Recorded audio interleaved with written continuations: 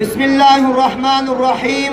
إن الله لا يهدي القوم الظالمين وقال النبي صلى الله عليه وسلم لأنس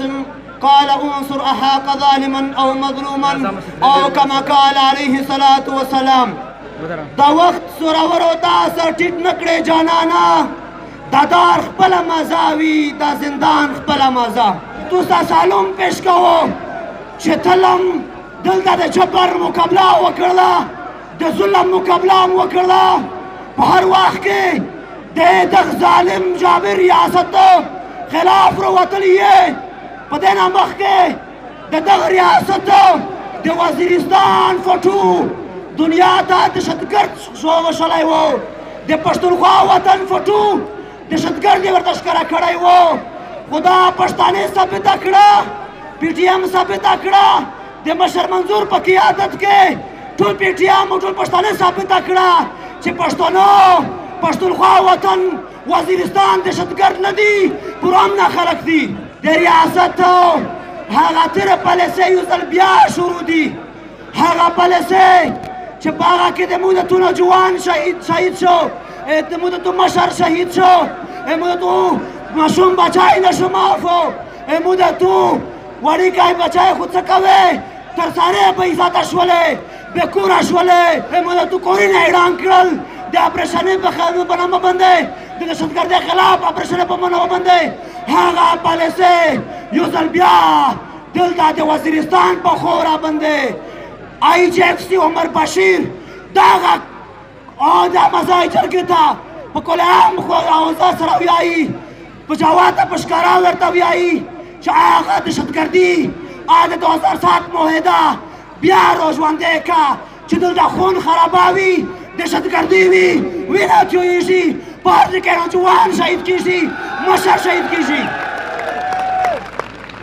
خو مش ورته یایي چې وسو پښتانه پیدا شوي دي د پښتون وطن په خورا باندې اتو هغه دهشتګردي مش سره منظور اتو وطن باندې دلته اتو هېڅکله دا پرسه نه چلېږي کاډر سره ورته کېږي د ډالر د ګټلې په شوق وي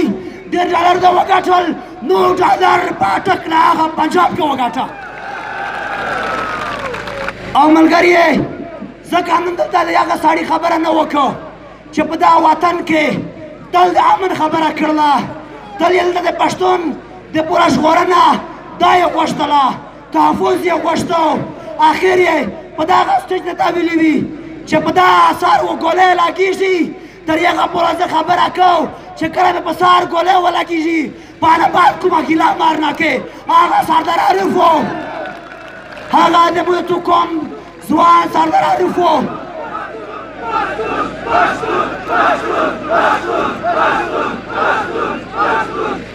امودتو د قوم ځوان سردار عارف و چې د قوم د پوره نظرانه او پیش کړه د شدګرتیا وشول چې په دا خوره باندې ویا د مو کفن وی یو ځ خپل وطن ګټو یو کفن مو دروچوي یو ځ وطن ګټو خو ور سره ور سره د وزیرستان په خوره باندې شپتلا ځوړیه دلته په دغه کې مقابله وکړه په دغه ځای کې په دا وطن دلته په دا خورا باندې د دهشتګردۍ نه پرسول عزم یې وکړو خپله نظرانه یې پیش کړی تاسو یې ولداهل ته راشئ هغه ځوانون هغه ته مشتر سالون پیش کوي او چې کوم شهیدون دي د دې اروحینه ته سر سالون پیش کوي چې په دا خورا باندې د دغه ریاستي دهشتګردي ورسره دلته نور هغه قتلون چې د کرایې قتلون دي د ریاستي سرپرستي کې قتلانه جرم کو همیشه قتل غلط کو ډاکو کو خلک شکاوي هغه ته وشول چې په دا خوره تو دا غزلم دا جبر مزي زنه منه دلته دغه خوره هغه ځوان چې تل یې په دا وطن ننګ کړی دی تل یې په دا وطن غیرت کړی دی تل یې دلته ظالم ته وشوي دي چې تو دا پالیسي دا چپر دا ظلم دا تور زندان دا دې نه منو مازی خپل حقوق جنګ کو کاته مولا سره جل دا وچاوي هغه سردار علي وزیر دی چې نن د کراچۍ په جیل کې د کوم مقدمه چلاوي کوم مقدمه د ټول پښتنو کوم مقدمه هاي په مخرونه کړی دو وا خبره بلا دو دلته په قومي تنازعات کې په قومي معاملات کې ریاست ته ورپوت د غری آپشن وو په دا معاملات کې آی جی اف سی ډایرک انوال لای دا یې جوړاوی دا یې د لوس اشته پسې دا یې مداخلت په تور فساد کو په تور حل یې نکو د ریاست غوځي مراد اوی چې په علاقہ کې امن روالي او خوشحالي وي ترقي وي خو دلته د ریاست تل هغه جبران نظام قائم کړی دی تل یې د پښتون وینه دا کیو کړی دو دلته د وزیرستان وطن ګل شهید گوادی چې دلته د ګل د وزیرستان د ځوانونو د مشر په وینه کې کړی دی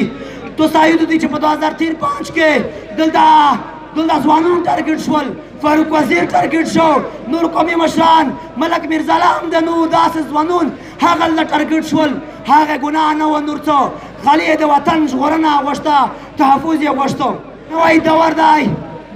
دلته د فلسطین چالیږي پښتون ژغورنه غورځنګ یو نوی روح اختیار کړی دی اول خو دې دا خیال و چې دا ریاست مو سره مطالبات ومني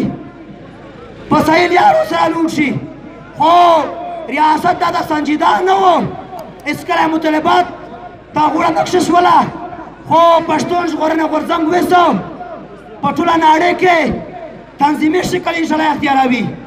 او داسې تنظیمي مضبوط شکل چې